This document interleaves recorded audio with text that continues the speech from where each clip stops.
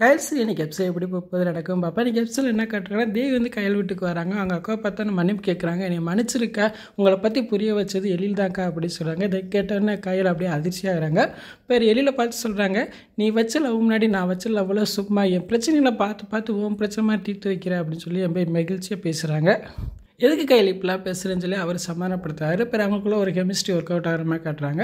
அதுக்கப்புறம் பார்த்தா சாலி டேனியலை கூப்பிட்டு அன்பை போய் பார்க்க போகிறாங்க அன்பு டேனியலை பார்த்தோன்னே ரொம்ப கோவப்படுறான். இவன் எதுக்கு நீ கூப்பிட்டு வந்த அப்படிங்கிறான். அப்போ வந்து சாலினி சொல்கிறாங்க நீ லாக்கப்பில் இருக்கும்போது உன்னை வெளியே கொண்டு வந்து உங்கள் பெரியப்பா தர்மலிங்கம் கிடையாது இவர் தான் அப்படின்னு சொல்கிறாங்க இதை கேட்டோன்னா அன்பு அதிர்ச்சியாரன் இவர் எப்படி ஜாமீன் எடுத்திருப்பாருன்னு நினைக்கிறேன். இவரை மிரட்டி எடுக்க வச்சதே நம்ம கையிலக்கா தான் அப்படின்னு சொல்கிறாங்க டேனியில் ஆமாம் அவங்க அக்கா தான் என்னை எடுக்க வச்சாங்க அப்படின்னு சொல்கிறாங்க இதை கேட்டோன்னே அன்பு எப்போ ஃபீல் பண்ணுறேன் அப்புறம் அன்பு மனசு மாறிடுறான். கையில் போய் பார்க்க போகிற மாதிரி காட்டுறாங்க. இன்றைக்கி என்ன எபிசோட் இப்படி தான் போகுது? ஃபுல் வீடியோ பார்த்துட்டு பேசும் இந்த வீடியோ பிடிச்ச மறுபடியும் லைக் கொடுத்துட்டு மறக்காமல் சப்ஸ்கிரைப் பண்ணுங்கள் தேங்க்யூ